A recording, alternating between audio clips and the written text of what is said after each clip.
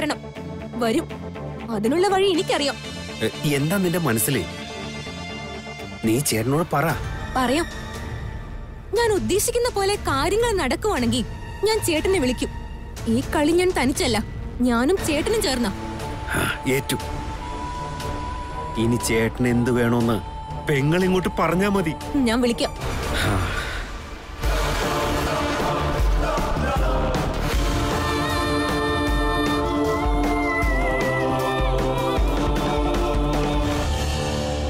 ഭക്തിയും ദൈവവിശ്വാസമുള്ള ആളാണ് ഞാൻ.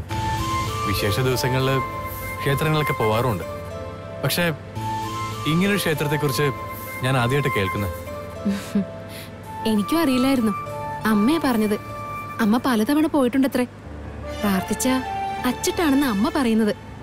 പലർക്കും അനുഭവം ഉണ്ടത്രേ സ്കൂളിൽ നിന്ന് ലീവ് എടുത്ത് ഇത്രയും ദൂരം യാത്രയും ചെയ്ത് ദേവിയോട് പ്രാർത്ഥിക്കണമെങ്കിൽ എന്തോ ഒരു വലിയ ലക്ഷ്യം മനസ്സിലുണ്ടല്ലോ. ഉണ്ടെന്ന് തന്നെ കൂട്ടിക്കോ. എന്താ അത് പറയില്ല. ഇത് മോശം ടീച്ചർ. ഞാൻ കൂടെ വരണം. അത്രയും ദൂരം ഒറ്റയ്ക്ക് വണ്ടി ഓടിക്കണം. പക്ഷെ എന്നോടൊന്നും പറയില്ല. എന്ന് വെച്ചാ ടീച്ചർ എനിക്ക് വെറും ഒരു ഡ്രൈവറിന്റെ സ്ഥാനം തന്നിരിക്കുന്നല്ലേ അയ്യോ അങ്ങനെയൊന്നും പറയില്ലേ? ദേവൻ സാറിനോട് പറയണമെന്നുണ്ട്. പക്ഷേ എനിക്ക് ചമ്മല. അതുകൊണ്ടാ. എന്ന് വെച്ചാ ദേവിയെ സോപ്പിട്ട് നേടിയെടുക്കാനുള്ളത് ഒരു തരികിട കാര്യമാണെന്നല്ലേ? അല്ല. പിന്നെ? വലിയൊരു കാര്യ. എനിക്കത് കിട്ടുവോ? ഞാനത് അർഹിക്കുന്നുണ്ടോന്നൊന്നും എനിക്കറിയില്ല. അതെന്താ? അതിമോഹമാണെന്ന് തോന്നി എന്റെ പ്രാർത്ഥന ദേവി കേൾക്കാതിരുന്നാലോ? ഹേ ടീച്ചറുടെ മനസ്സ് നല്ലല്ലേ നല്ല മനസ്സുള്ളവരുടെ പ്രാർത്ഥന ദൈവം കേൾക്കും. എന്റെ കാര്യത്തിൽ എനിക്ക് ഉറപ്പില്ല എന്റെ മനസ്സ് നല്ലതാണെന്ന് ആയമ പറയാറ്. അപ്പൊ ഞാൻ പ്രാർത്ഥിച്ചാലും ദേവി കേൾക്കുമായിരിക്കും. എന്താ വിഷയം എന്ന് അറിഞ്ഞിരുന്നെങ്കിൽ ടീച്ചർക്ക് വേണ്ടി എനിക്കും പ്രാർത്ഥിക്കായിരുന്നു. പ്രാർത്ഥിക്കൂ. പറഞ്ഞല്ലോ. എന്റെ ചുറ്റുപാടുകൾ എന്റെ പരിമിതികൾ ഒക്കെ എനിക്ക് നല്ല ബോധ്യമുണ്ട്. അണ്ണാൻ ആനയോളം ആഗ്രഹിക്കാൻ പാടില്ലെന്ന് ഒരു പഴഞ്ചൊല്ലില്ലേ? പക്ഷെ ഞാൻ ആഗ്രഹിച്ചു പോയി. എന്റെ കൊക്കിൽ ഒതുങ്ങാത്തത് ഞാൻ അർഹിക്കാത്തത്. ഇങ്ങനെ വളച്ചിട്ടി പറഞ്ഞാലൊന്നും എനിക്ക് കാര്യം മനസ്സിലാവില്ല. ഞാൻ എന്താ പ്രാർത്ഥിക്കണ്ടേ? അത് തെളിച്ചു പറ. എന്റെ മനസ്സിലുള്ള ആഗ്രഹം സാധിച്ചു കൊടുക്കണേ എന്ന്. എന്നുവെച്ചാ ടീച്ചർ ടീച്ചറിന്റെ ജോലി എന്നെ ഏൽപ്പിച്ചിരുന്നു. ക്ഷേത്രത്തിൽ പോയിട്ട് ടീച്ചർക്ക് പ്രത്യേകിച്ച് പണിയൊന്നുമില്ല അല്ലേ? ഞാൻ ദേവൻ സാറിന് വേണ്ടി പ്രാർത്ഥിച്ചോളാം. എന്ത്? എനിക്ക് വേണ്ടി ടീച്ചർ എന്താ പ്രാർത്ഥിക്കുക ദേവൻ സാർ ആഗ്രഹിക്കുന്നത് എല്ലാം സാധിച്ചു കൊടുക്കണേ എന്ന്. വേണ്ട അല്ലെങ്കിൽ വേണ്ട. എന്താ ദേവൻ സാർ എനിക്ക് വേണ്ടി പ്രാർത്ഥിക്കുമ്പോ അതിന് ദേവൻ സാറിന്റെ കാര്യവും പെടും. ഞാൻ പറഞ്ഞല്ലോ ടീച്ചറെ. ടീച്ചർ ഇങ്ങനെ കടങ്ങതുപോലെ പറഞ്ഞാൽ എനിക്കൊന്നും മനസ്സിലാവില്ല. ടീച്ചർ എന്താ ഉദ്ദേശിച്ചത് തെളിച്ചു പറ. ഇതിൽ കൂടുതൽ പറഞ്ഞ് ഞാൻ എങ്ങനെ മനസ്സിലാക്കാനാ? ടീച്ചറുടെ ആഗ്രഹമൊക്കെ എനിക്ക് മനസ്സിലായി. കല്യാണം നീണ്ടുപോകുന്നതിന്റെ വിഷമല്ലേ ടീച്ചർക്ക്. ഞാൻ പ്രാർത്ഥിക്കാം.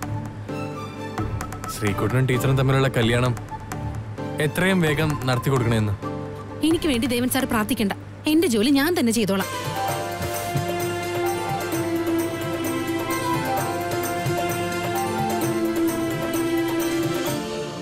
അത്യാവശ്യമായ ഒരിടം വരെ പോകേണ്ടി വന്നതുകൊണ്ടാ ഞാനിന്ന് ലീവ് വേണമെന്ന് ജഗദീഷിനെ വിളിച്ച് പറഞ്ഞത്. ഇന്ന് ഒരു ദിവസത്തേക്ക് എങ്ങനെയെങ്കിലും ഒന്ന് അഡ്ജസ്റ്റ് ചെയ്യും.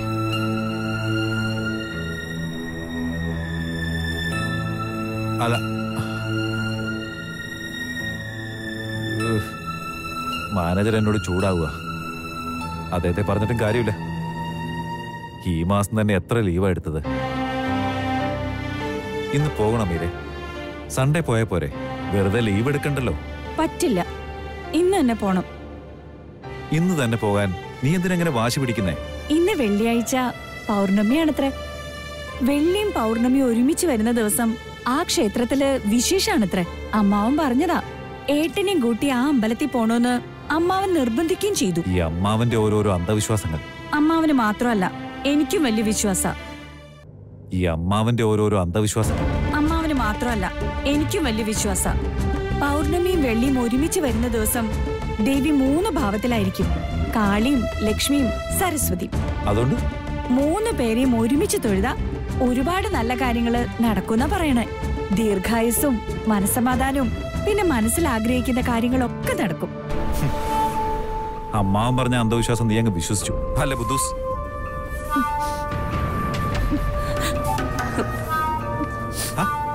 അതിന് നീ എന്തിനാ കരയുന്നത്? ഞാനൊരു തമാശ പറഞ്ഞതല്ലേ? മോളെ. എന്റെ സ്ഥാനത്ത് ഏട്ടനാണെങ്കിൽ വിശ്വസിച്ചു പോവും. ആശ്രയിക്കാൻ മറ്റാരും ഇല്ലല്ലോ നമുക്ക്. ഈശ്വരൻ മാത്രമല്ലേ ഉള്ളൂ. നീ എന്താ ഇങ്ങനെ തുടങ്ങുന്നേ? എപ്പോഴും കളിച്ചും ചിരിച്ചും നടക്കുന്ന നിനക്ക് പെട്ടെന്ന് എന്താ ഒരു സങ്കടം? ഒന്നുമില്ല ഏട്ടാ. ഓരോന്ന് ആലോചിച്ചപ്പോ ഇനി ഏട്ടൻ ചോദിച്ച വിഷയത്തിലേക്ക് വരാം. ഇല്ലാത്ത ലീവ് എടുത്ത് അമ്പലത്തിലേക്ക് പോകുന്നത് മണ്ടത്തരല്ലേന്ന്. വരുന്ന വഴിക്ക് ഏട്ടൻ ആദ്യം ചോദിച്ചത് മണ്ടത്തരല്ലെന്ന് ഞാൻ പറയും. കാരണം ഇനി ഇതുപോലെ പൗർണമിയും വെള്ളിയും ഒത്തു വരണമെങ്കിൽ അഞ്ചാറ് മാസം കഴിയണമെന്നാ അമ്മാവൻ പറഞ്ഞത്. ഇപ്പോ ഏട്ടന്റെ മനസ്സിലൊരു ചോദ്യമുണ്ട്. വിശേഷപ്പെട്ട ദിവസത്തിൽ ക്ഷേത്രത്തിൽ പോയി ദേവിയോട് ആവശ്യപ്പെടാൻ എന്ത് രഹസ്യ ഉള്ളതെന്ന്. ശരിയല്ലേ? നൂറ് ശതമാനം ശരിയാ. മറ്റുള്ളവരുടെ മനസ്സ് വായിക്കാനൊക്കെ നിനക്കറിയാമോ? ഏട്ടന്റെ മനസ്സ് വായിക്കാൻ എനിക്ക് കഴിയും. ഞാൻ ഏട്ടനെ കാണാൻ തുടങ്ങിയത് ഇന്നും ഇന്നലെയൊന്നും അല്ലല്ലോ ഏട്ടന്റെ മനസ്സിലുള്ള ചോദ്യത്തിന് ഉത്തരം. രണ്ട് മൂന്ന് കാര്യങ്ങൾ എനിക്ക് ദേവിയോട് പറയാനുണ്ട്. അതിൽ പ്രധാനപ്പെട്ടത് ഏട്ടന്റെയും അല്ലി ചേച്ചിയുടെയും കല്യാണം. അതിങ്ങനെ ഗണപതി കല്യാണം പോലെ നീണ്ടു നീണ്ടു പോവല്ലേ? ദേവി തന്നെ അത് എത്രയും വേഗം നടത്തി തരട്ടെ. ദേവിയോട് രണ്ടു മൂന്ന് കാര്യങ്ങൾ ചോദിക്കാനുണ്ടെന്നല്ലേ പറഞ്ഞത്. ഒരു കാര്യം കഴിഞ്ഞു. മറ്റു രണ്ട് കാര്യം എന്തൊക്കെയാ? അത് പറയില്ല ഏട്ടാ. നിനക്ക് ഈ ചേട്ടനോട് പോലും പറയാൻ പറ്റാത്ത രഹസ്യോ? അതൊക്കെ ഉണ്ട്. അതുകൊണ്ട് എന്റെ ചക്കര ചേട്ടൻ ബാങ്കിലെ കാര്യം ആലോചിക്കാതെ വണ്ടി ഓടിക്കേ. ഇന്ന് ഫുൾ ടൈം നട തുറന്നിരിക്കുന്ന അമ്മ പറഞ്ഞത്. അതുകൊണ്ട് പതിയെ പോയാ മതി. ഏതെങ്കിലും നല്ല റെസ്റ്റോറന്റിൽ വണ്ടി നിർത്തി വല്ലതും കഴിച്ച് പഴങ്കഥകളൊക്കെ പറഞ്ഞ് മെല്ലെ പോവാം. ആ കുട്ടൻ വണ്ടി വിട്ടോ? കുട്ടനോ? അല്ല പൊട്ടൻ. വണ്ടി നേരെ നോക്കി ഓടിക്കും.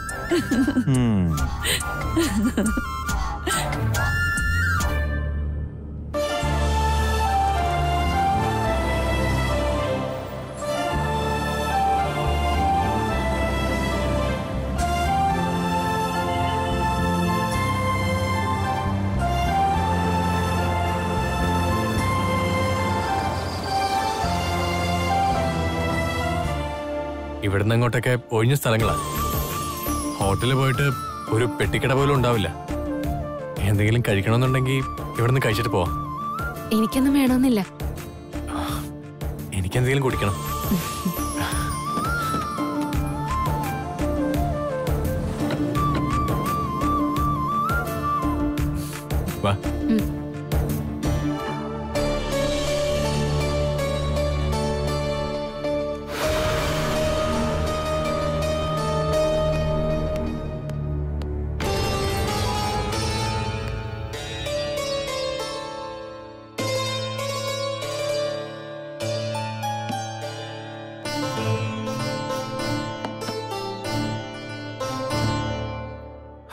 കുടിക്കേ.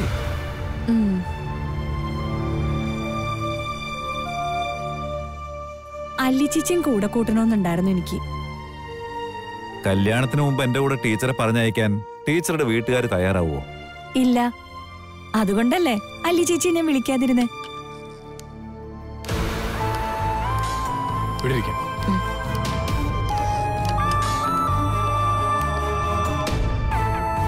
എന്താ സാർ വേണ്ടത്? എനിക്കൊരു ക്യാരറ്റ് ജ്യൂസ് ടീച്ചർക്ക് എന്താ വേണ്ട? എനിക്കൊരു തണ്ണിമത്തം മതി. അല്ലി ചേച്ചിയുടെ പേരിലും എന്തെങ്കിലും വഴിപാട് കഴിപ്പിക്കണം. അല്ലി ചേച്ചിയുടെ നാൾ ചോദിക്കും. ചേച്ചിയുടെ നക്ഷത്രം എന്താട്ടാ ആ എനിക്കറിയില്ല. കല്യാണം കഴിക്കാൻ പോകുന്ന പെണ്ണിന്റെ നക്ഷത്രം അറിയില്ല. ഈ ഏട്ടന്റെ ഒരു കാര്യം. അതിന് ടീച്ചറുടെ തലക്കുറി നമ്മൾ വാങ്ങിയിട്ടില്ലല്ലോ. എന്റെ തലക്കുറി അവരല്ലേ വാങ്ങിയത്? ആ അത് കുഴപ്പമില്ല. നാളെ ഏതാണെന്ന് അല്ലി ചേച്ചിയോടൊന്ന് ഫോൺ ചെയ്ത് ചോദിച്ചാ പോരെ.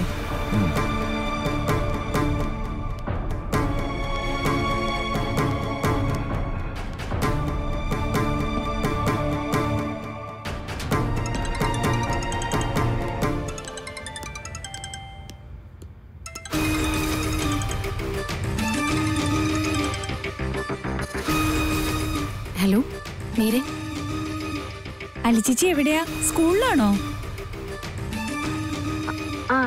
അതെ. ഞാൻ വിളിച്ചത് ബുദ്ധിമുട്ടായോ? ഇല്ല ഈ അവർ എനിക്ക് ക്ലാസ് ഇല്ല മീര പറഞ്ഞോളൂ. പ്രത്യേകിച്ച് പറയാനൊന്നുമില്ല ചേച്ചി. അല്ലിച്ചേച്ചിയുടെ നാളറിയാനാ വിളിച്ചത്. അല്ലിച്ചേച്ചിയുടെ നാളെ ഏതാ തിരുവാതിര. ആ എന്നാ വെച്ചോളൂ ചേച്ചി. സ്കൂളിൽ മൊബൈൽ ഫോൺ യൂസ് ചെയ്യാൻ പാടില്ലെന്നല്ലേ മീരയാ എന്താ കാര്യം? എന്റെ നക്ഷത്രം അറിയാൻ വിളിച്ചത്. അല്ല നക്ഷത്രം ചോദിച്ച് മീര വിളിക്കണമെങ്കിൽ കല്യാണത്തിന് ദിവസം കാണാൻ അവർ പണിക്കരടുത്ത് പോകുന്നുണ്ടാവും. സന്തോഷായില്ലേ ടീച്ചർക്ക്? ദേവൻ സാറിന് വയസ്സെത്ര കഴിഞ്ഞു? കണ്ട എത്ര തോന്നും? കണ്ടിട്ടൊരു മുതിർന്ന ആളാണെന്ന് തോന്നുന്നു. ഇത്രയും പ്രായമുള്ള ആൾക്ക് മിനിമം പത്ത് വയസ്സിന്റെ ബുദ്ധിയെങ്കിലും കാണില്ലേ? വാ പോവാം. അല്ല ടീച്ചറെ ജ്യൂസ് കുടിച്ചില്ല. എനിക്ക് വേണ്ട. കാശ് കൊടുത്ത് വാങ്ങിച്ചല്ലേ? വെറുതെ കളയാൻ പാടില്ലല്ലോ.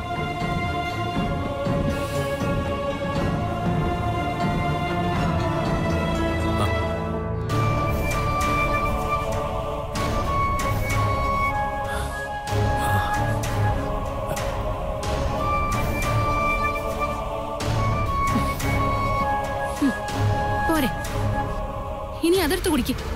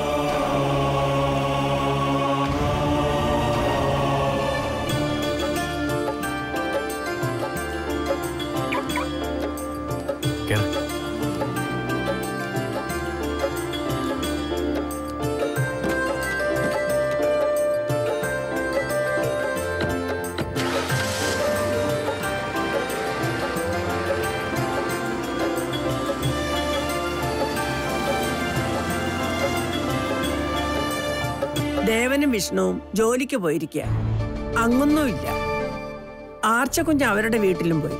വയറ്റിലുള്ളതല്ലേ? അമ്മയുടെ വക മധുരം കൊടുക്കലും സൽക്കാരങ്ങളൊക്കെ ഉണ്ടാവുമല്ലോ? ഉച്ച കഴിഞ്ഞ് വരാന്നും പറഞ്ഞിട്ടാ പോയത്. ആ ആരും വരുന്നുണ്ടെന്ന് തോന്നുന്നു. പിന്നെ വിളിക്കാം.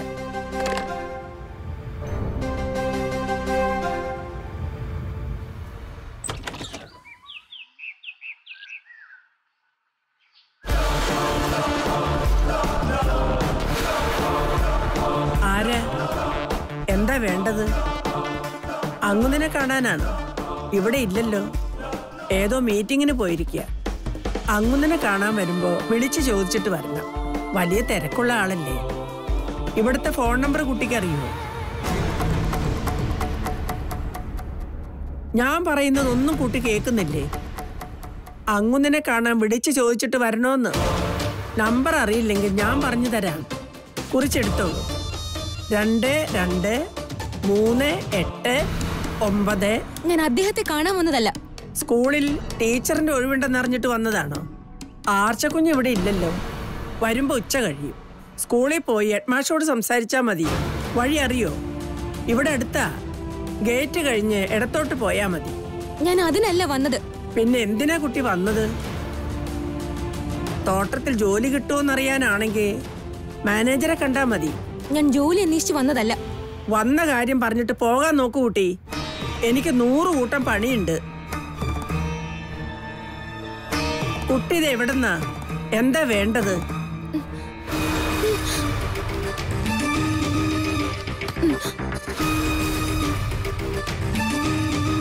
ജോലി അന്വേഷിച്ച് വന്നതല്ല. വന്നത് എന്തിനാണെന്ന് പറയുന്നുമില്ല. കയ്യിലാണെങ്കിൽ ബാഗും ഉണ്ട്. ഇത് അവളായിരിക്കുമോ വിഷ്ണു കുഞ്ഞിനെ ചതിക്കാൻ നോക്കിയോളൂ.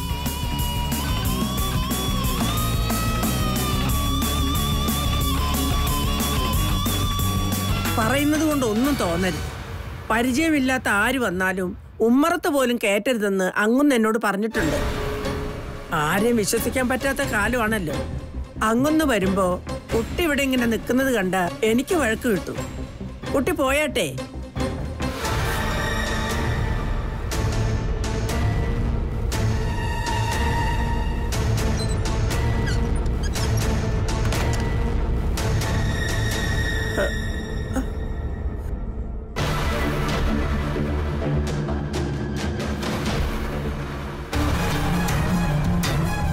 പോകുന്നില്ലല്ലോ.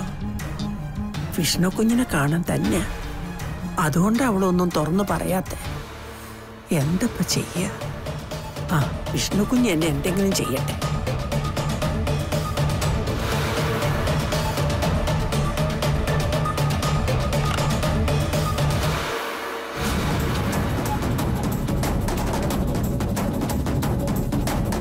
ബില്ല് എമൗണ്ടിന്റെ ഡി ഡി തന്നെയാ അയച്ചിരിക്കുന്നത് ഇനിയിപ്പോ എന്തെങ്കിലും ക്ലറിക്കൽ മിസ്റ്റേക്ക് സംഭവിച്ചോന്ന് അറിയില്ല. സംഭവിക്കാൻ വഴിയില്ല. എന്തായാലും താനൊന്ന് ഹോൾഡ് ചെയ്യും. ഞാനൊന്ന് ചെക്ക് ചെയ്യട്ടെ.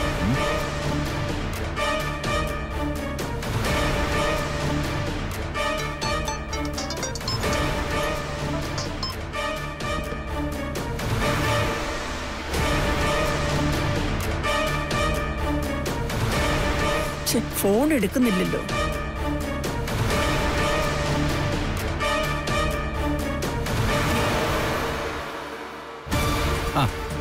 ഞങ്ങളുടെ സൈഡിൽ നിന്ന് ഒരു നെഗ്ലിജൻസ് ഉണ്ടായിട്ടില്ല.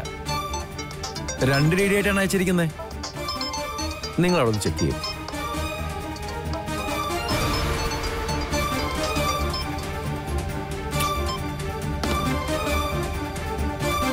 വിഷ്ണു കുഞ്ഞ് എന്താ ഈ ഫോൺ എടുക്കാത്തെ?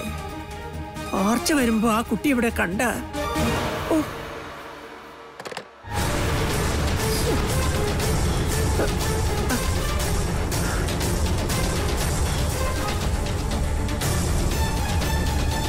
ഇവൾ ഇവിടുന്ന് പോണ ലക്ഷണം കാണുന്നില്ലല്ലോ. കീരിയും പാമ്പും പോലെ നടന്ന ആർച്ചയും വിഷ്ണുവാ. പരസ്പരം മിണ്ടാനും ചിരിക്കാനും തുടങ്ങിയത് ഇപ്പോഴാണ് ഇവളിവിടെ കണ്ട ആളെ മനസ്സിലായി.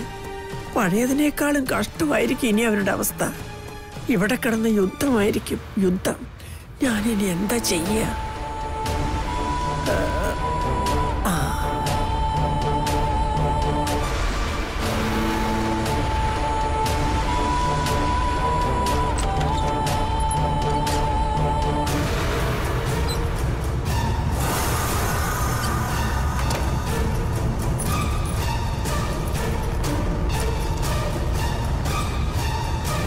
അങ്ങുന്നനെ ഞാൻ വിളിച്ചു നോക്കി. ഇന്ന് വരില്ല എന്നാ പറഞ്ഞത്. അങ്ങുന്നന്റെ മൂത്ത മോന് തോട്ടത്തിൽ പിടിപ്പത് പണിയുണ്ടത്രേ. ഇന്ന് അവിടെ കിടക്കുക. അവന്റെ അനിയൻ ഒരാളുണ്ട്. വിഷ്ണു.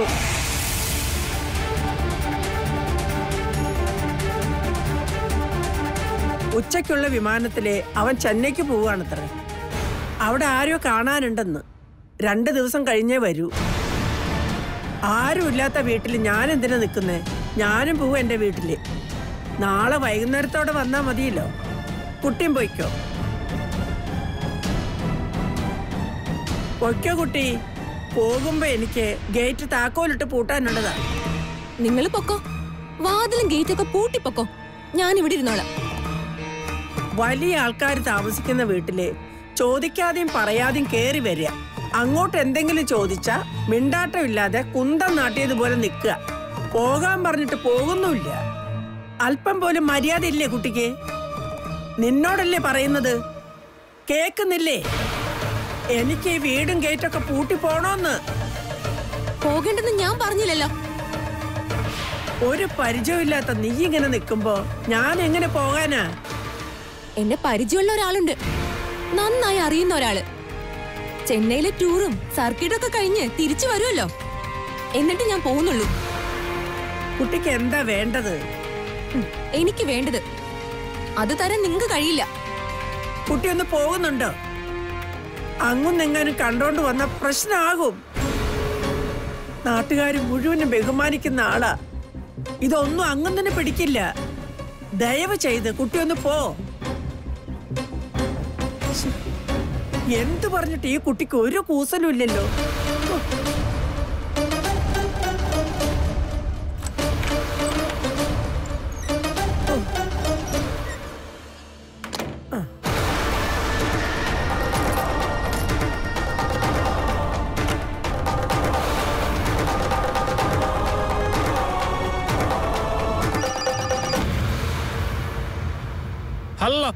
ചിന്ന ഞാനാ? നീ ദേവനൊന്ന് ഫോൺ കൊടുക്ക്. അണ്ണൻ എന്റെ അടുത്ത് ഇല്ലല്ലോ അമ്മേ ഹ്, നിന്റെ കൂടെ ഇല്ലേ? എവിടെ പോയതാ? ഓ കഴിഞ്ഞ. അല്ലി ടീച്ചറിന്റെ കൂടെ പോയെന്ന് പറഞ്ഞ പ്രശ്നവും. വേണ്ട. ഹലോ അണ്ണ എവിടെ പോയെന്ന് എനിക്ക് അറിയില്ല അമ്മേ ദേവൻ ഇവിടെ എത്തണം. എത്രയും വേഗം ഇവിടെ എത്തണം. ദേവൻ ഇവിടെ എത്തണം. എത്രയും വേഗം ഇവിടെ എത്തണം. നീ എങ്ങനെയെങ്കിലും അവനെ കണ്ടുപിടിക്കേ. എന്നിട്ട് എത്രയും വേഗം ഇവിടെ എത്താൻ പറ. എന്താ അമ്മേ? എന്തേലും പ്രശ്നമുണ്ടോ? ഇവിടെ ഒരു പെൺകുട്ടി വന്ന് നിൽക്കുന്നു. പെൺകുട്ടിയാ? ഏത് പെൺകുട്ടി? എന്തിനാന്നത് അതൊന്നും എനിക്കറിയില്ല. അവൾ പറഞ്ഞാലല്ലേ എന്തെങ്കിലും അറിയൂ. ഞാൻ എന്ത് ചോദിച്ചാലും അവൾക്ക് മിണ്ടാട്ടമില്ല. ഇടയ്ക്ക് രണ്ട് വാക്ക് പറയും. ഒരു കടങ്കഥ പറയണ പോലെ. ഓഹോ വല്ല വട്ട് കേസുമായിരിക്കും. ആയമ്മ ശ്രദ്ധിക്കാനും നിൽക്കണ്ട. വാതിലടച്ചങ്ങ് അകത്തിരുന്നാ മതി. കയറി വന്നതുപോലെ അവൾ കുറച്ചു നേരം കഴിയുമ്പോൾ ഇറങ്ങി പോവുകയും ചെയ്യും. തലയ്ക്ക് സുഖമില്ലാത്ത പെണ്ണൊന്നും അല്ല ചിന്ന. പിന്നെ? ഇത് അവളാണെന്നാ തോന്നുന്നേ. അവളോ? ഏതവൾ? വിഷ്ണു ഒരു പെൺകുട്ടിയായിട്ട് ഇഷ്ടത്തിലായിരുന്നില്ലേ? അവളോ? ഓർപ്പണോ? മട്ടും മാതിരിയൊക്കെ കണ്ടിട്ട് അവൾ തന്നെയാണെന്നാ തോന്നുന്നേ. കുഴപ്പമായോ ആയമ്മേ ആർച്ചക്കൊച്ചമ്മ അവളെ കണ്ട? ആർച്ചക്കുഞ്ഞ് ഇവിടെ ഇല്ല അവരുടെ വീട്ടിൽ പോയിരിക്കുക ഉച്ച കഴിഞ്ഞ് വരും. അതാ എനിക്ക് പേടി. ആ ഗംഗയോ? ഗംഗയും പോയിരിക്കുക ആർച്ചക്കുഞ്ഞിന്റെ കൂടെ അല്ല വേറെ എവിടേക്കോ അവളും കയറി വന്നേക്കും. ഗംഗ കണ്ടാലും മതി. അവൾ അപ്പ തന്നെ ആർച്ചക്കുഞ്ഞിനെ വിളിച്ച് പറയും. വിഷ്ണു കുഞ്ഞിന്റെ ജീവിതം ഒരുവിധം ശരിയായി വന്നതാ. വീണ്ടും നാനാവിധമായി പോകുമെന്ന എനിക്ക് തോന്നുന്നത് പേടിക്കാണ്ടിരിക്കും. അവളുടെ ഉദ്ദേശം എന്താണെന്ന് അറിയൂ പറഞ്ഞാലല്ലേ അറിയൂ. പക്ഷേ ബാഗൊക്കെ ആയിട്ടാ വന്നിരിക്കുന്നേ. ഇവിടെ കയറി പൊറുതി തുടങ്ങാനായിരിക്കും. ഇവിടെ കൊലപാതകം നടക്കും ചിന്ന. അതിനു മുമ്പ് ദേവൻ ഇവിടെ എത്തണം. എങ്കിലേ എനിക്ക് സമാധാനം കിട്ടൂ. ആയമ്മ പേടിക്കണ്ട. ഞാൻ അങ്ങോട്ട് വരാം. ഇപ്പൊ തന്നെ ചിന്ന.